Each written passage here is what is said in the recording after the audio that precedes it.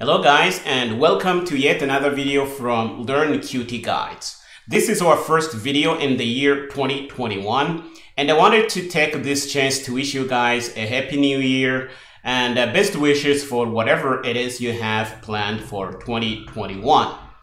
In this video, I wanted to share some of the things we've been working on in 2020 and the plans we have for 2021 and beyond. Now, I have been getting a lot of questions in this year, either through email or messages on social media asking, why aren't you making any new videos or any new courses? The reason is we've been pretty busy with some of the projects and the courses that we're really planning, and hopefully we're going to release some of them in this year. The big one is the C++ course we've been working on. This is a huge course and we've designed it to take the students from the bare fundamentals to a level where they can do pretty advanced things in C++. If you have watched any of our courses before, the style is going to be the same. We're going to explain things in detail and we're going to show you practical examples so that you can play with things right away. This course is going to be using modern C++, so we're going to be covering features from C++11 all the way to C++20. So C++20 has four big features, which are modules, concepts, ranges, and coroutines. We're going to cover them all in this course. We're going to also cover some of the smaller features in C++20, and you're going to learn all these things in this course. This is going to be a huge course. You can see the chapters that we have planned here.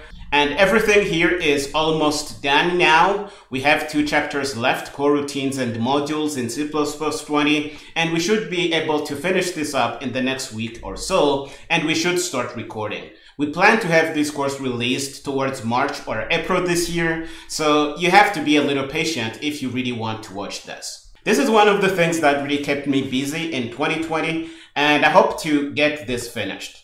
We have also been working on a few client projects. We have been lucky enough to keep our few clients in 2020. We helped them build graphical user interfaces for desktop, mobile, and embedded. And uh, that's taken quite a huge chunk of my time in 2020. There has also been the pandemic that's been a huge emotional load for many people.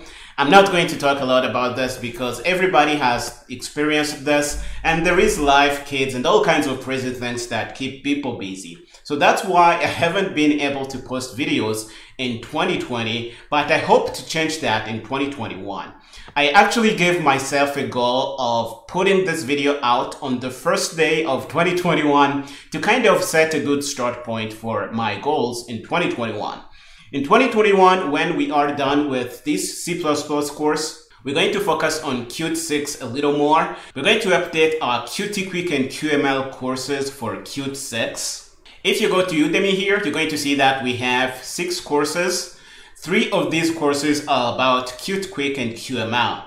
If you look here, we have made it pretty clear that they are Qt 5 courses. They work for Qt 5 and Qt 6 has been released in December of 2020 and we are currently working on ways we can update these courses.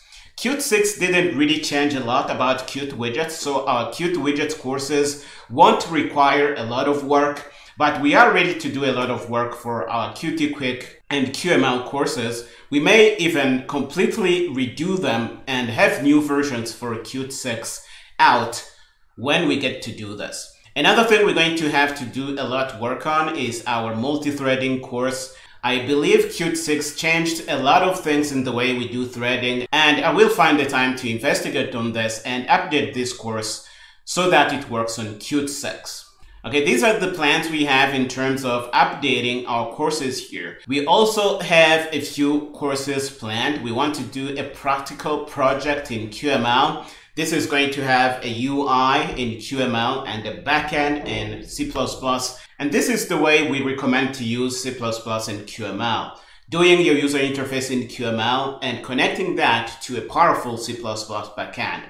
We're going to do a course on this. I am still thinking on the kind of project we might do, but we're going to figure that out when we get to do this. We also have plans for a course on Qt for Python. We have a lot of requests for Qt for Python and uh, we plan on doing a course on that once we are done with the courses that we are doing now. Another thing that is really big is Qt 3D. This is a game changer in Qt 6. It's going to allow you to design interactive applications that use 3D user interfaces. You're going to be able to view, zoom and pan in 3D.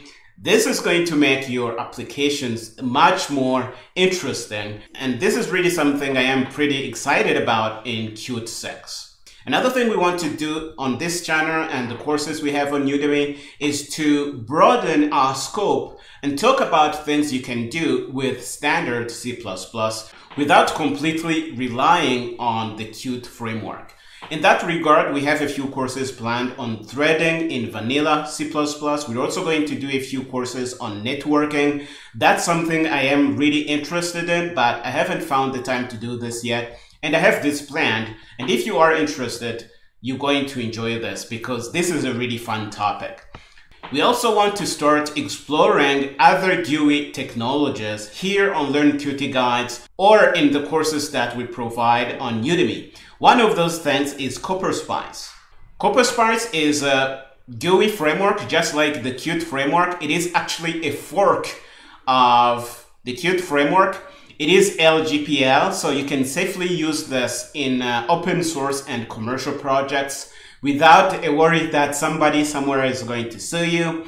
And it is really good for desktop. I haven't tried this on mobile or embedded, and I don't think it's really going to work pretty well there because it's focused on desktop. But if you are a desktop application developer and you want something cross-platform that is going to work on Windows, Mac, and Linux, CopperSpice is perfect.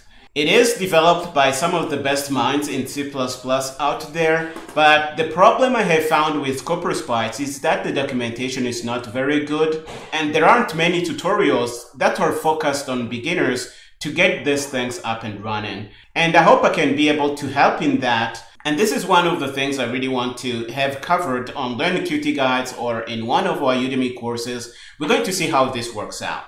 ImGUI is one other thing that I have been playing with and I really love it. It is a bloat-free graphical user interface for C++ and you can use it to do really cool user interfaces that are minimal and really good. You can see some of the things people do with this. It is pretty cool. So this is something I would like to cover sometime in the future. So stay tuned if this is something you might be interested in.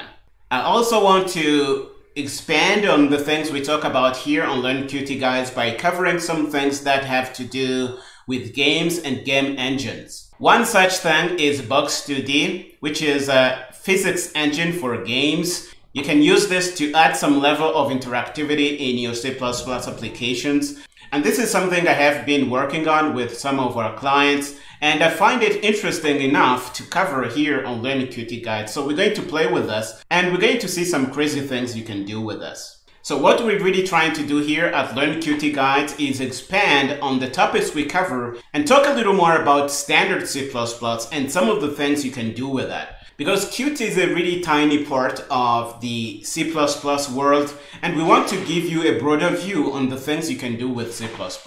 So these are some of the things we have planned. Okay, some of you are saying, okay, Daniel, you've talked about everything else, but what about this visual booklets? What is CPP Mag? Well, I have been writing a few booklets for some topics. Here is a booklet we've written for the XMPP protocol, and I tried to make this booklet very visual. So I have been getting a few requests from people, why don't you do something like this for C++ or Qt? Well, I've listened. I want to spend some time to make these booklets and I'm going to try and cover some of the most difficult to understand topics in C++ and really help you guys learn about some of the topics we cover here at Learn Qt Guides. We're going to cover Qt, we're going to cover C++, and some of the things that revolve around really graphical user interfaces, interactivity, and things like that. And hopefully by the end of 2021, we will have a few booklets on C++ like this. If you have any suggestions on topics, please share in the comments below, and I will see what I can do about that. Okay, this is all I had planned for this video, guys. Hopefully you have a better idea of what we've been doing in 2020 and what we have planned for you in 2021. Again, I am wishing you a happy new year. Best wishes for whatever it is you have planned for 2021. Stay healthy, keep learning, and I will see you next time.